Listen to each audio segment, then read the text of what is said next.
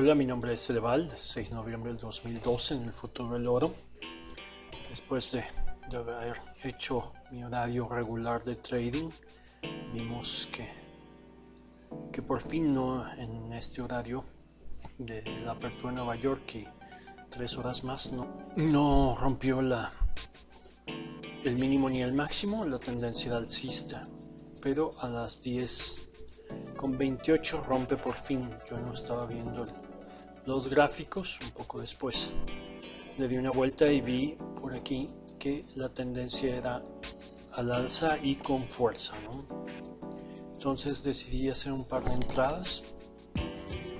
En esta, en la rotura del 1704.8, ya había pasado el 1700. Y aquí le pongo un target de 10 ticks. Me ofrece 11 que sigue subiendo, hace alguna retracción, intenta, no quiere, en la siguiente decide volver a entrar, había fuerza, y entro en el 17.13.8, me sacan el 17.15.5, con 16 ticks me desliza 6 ticks. Bueno, alcancé esta par de oportunidades, aquí dio otra buena, y aquí otra más, ¿no? Después de eso ya el el mercado se tranquilizó, nomás fue esta, esta subida, pero pues alcanzamos a, tomar algo de este del cierre de Europa, del cierre en las bolsas y hubo aquí unas buenas oportunidades. Cierra el mercado norteamericano pues al alza, ¿no? Pegado al 1720, cierra en el 1716.7 ahorita a las 5 abre Oceanía, Nueva Zelanda, Australia y por ahí de las 6, 7 empieza los japoneses también y empieza todo el, mercado, el mercado asiático. Vamos a ver qué definen ellos, si seguirán con tendencia alcista o no.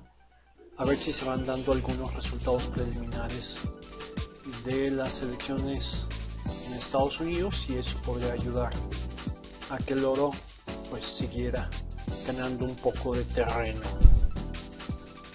Aquí tenemos el gráfico de, de día. Esta fue la vela, esta vela roja fue, el viernes con el non-farm payroll. Todo lo que bajó y desde ayer y hoy ha venido ganando terreno.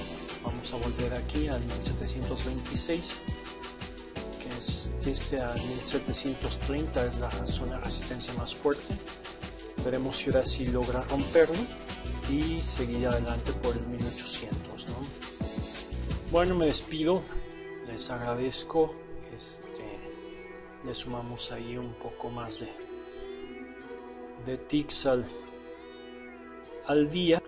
Llevábamos 7 ticks en el día con dos entradas intermedias que hice y ahora le sumamos estos 27 estos 27 ticks se hicieron un poquito después del horario normal y así salimos con 30 ticks el día de hoy.